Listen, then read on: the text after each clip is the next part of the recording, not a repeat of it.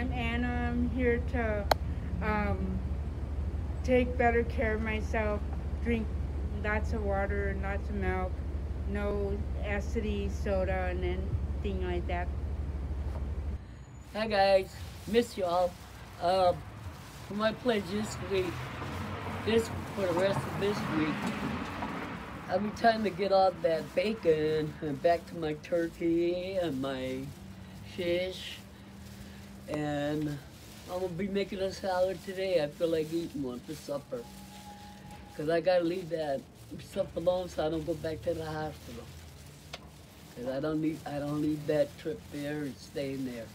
I need to get back to work class. Hopefully it'll be soon for us. Miss you all. Love you guys. Bye. Hi, I'm Walt Henry. Nice to meet you. I'm uh, doing things for the National Nutritional Month. The main thing I want to do is I, I want to lose about a pound a week for, for the next uh, uh, 20 weeks or so. And I'm doing that primarily by eliminating uh, bakery products from my uh, daily, daily life. And uh, that doesn't include bread, but anything that, uh, that would be sold at a bakery, I, I don't buy and I don't eat anymore. Uh, and that's difficult because I like cookies and I like bakery. so, but it, it, in order to lose weight, I discovered over, over, over time that that's the only thing that works for me. Uh, I, I do try, try to eat a lot of vegetables, uh, which helps me to keep, satisfy my hunger. But other than that, that's, that's the main goal, and I hope I succeed. Hi, my name is Annette, and for National Nutrition Month, I'm going to be uh, monitoring my sodium intake. for nutrition month.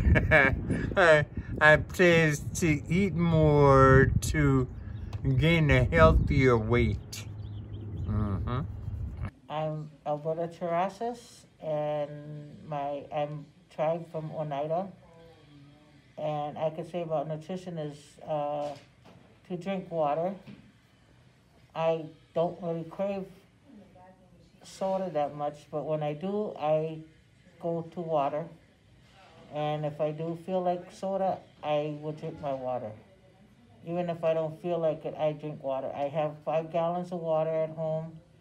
And if I get a juice, I add half water to my juice. And if somebody offers me soda, I refuse it. And if I do have a soda, I will drink it, but that's a treat for me. And I very seldom drink soda. But my best bet is I have five gallons of water, and within a week's time, I drink that water. And that's the best thing for you. And I also get grapes when in season grapes, and I wash them, take the stems off, and I put them in baggies, and I put them in the freezer. And I have my grandchildren eat them when they do come over. They don't like to come over because I don't have sugar in my my apartment. but I mean, they don't like to come over because I don't have snacks. I don't have soda. I don't have. I have juice, but I give them juice, but then I add water to mine. But I don't. I don't use uh, soda. I don't have soda at all in my house. Very seldom. But best bet is walking and water. Even if you don't feel like it, drink water all the time. That's the best best thing for you guys. Hi, I'm Michelle Boyd. I'm Turtle Mountain Chippewa, and I'm married to Garrett Boyd, who's Menominee. We've been doing a vegetable-based diet for quite a while, and we've been doing gluten-free also because I've been having issues. And right now, um, for National Health Month, you know, we've been doing our vegetarian for the you know for the most part. And Garrett's blood, his blood work came back really good this time. Came back improved, so we're, we're really happy about that. And we're going to just continue on this because it's proven to be better for us. We feel better when we eat this way, and I think we look a little better when we eat, you know, when we eat the vegetarian diet. And overall, it's just healthier. And you know, and we're trying to do a lot of traditional foods too in that way, you know, like the wild rice, the squash, you know, and nuts, and, and, and it's working out. So, I mean, anyone can do it. Anyone can do it.